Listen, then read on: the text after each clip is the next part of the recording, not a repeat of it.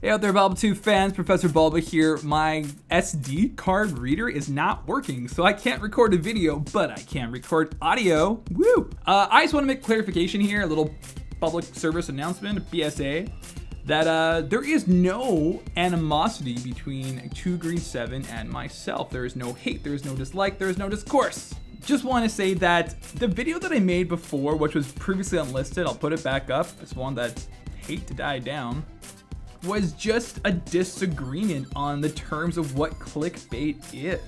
And I think we came to a terms of uh, understanding.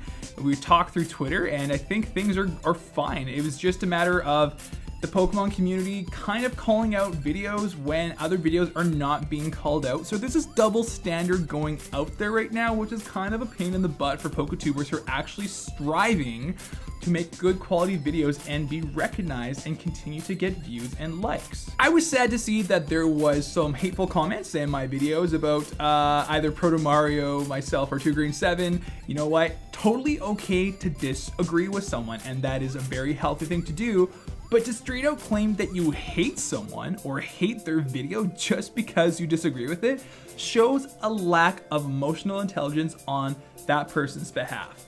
Just take a second to know the difference between disliking something, not liking something, and hating something. Hate is a very strong word. It is an emotion that is, well, detrimental to the to the person who has it. Hating something is like holding a hot coal in your hand with the intention of throwing it at someone. In the end, the only person getting burned is yourself. Hate only generates more hate.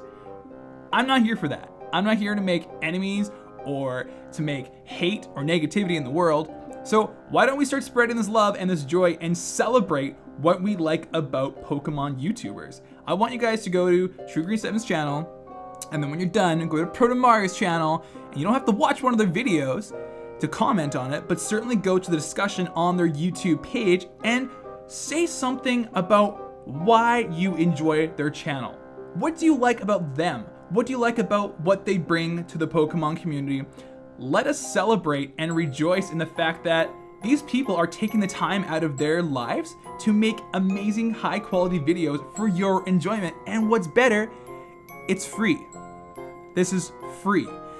We should not be complaining about free stuff that people are taking their time to do and then making like negative comments about it. Let's be happy about this, okay? Thanks for listening, guys. It's been Professor Bulba signing out. Please do go to their channels. Please do go say something nice. Love, peace, chicken grease. Professor Bulba out.